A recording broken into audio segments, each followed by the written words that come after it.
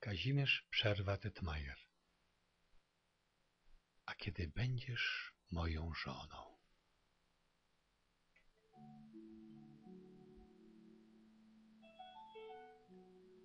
A kiedy będziesz moją żoną? Umiłowaną, poślubioną. Wówczas się ogród nam otworzy Ogród świetlisty, pełen zorzy.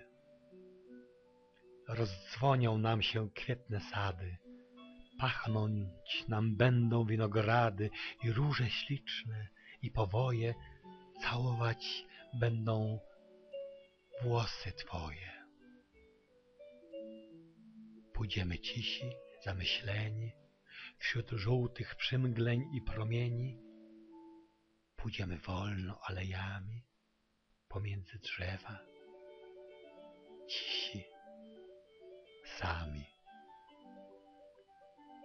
Gałązki ku nam zwisać będą, narcyzy piąć się srebrną grzędą i padnie biały kwiat lipowy na rozkochane nasze głowy. Ubiorę ciebie w błękit kwiatów niezapominajek i bławatów, ustroję Ciebie w paproć młodą i świat rozświetlę Twą urodą.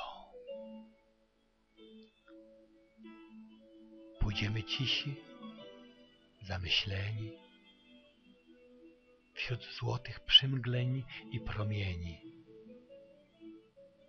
Pójdziemy w ogród pełen zorzy, kiedy drzwi miłość nam otworzy.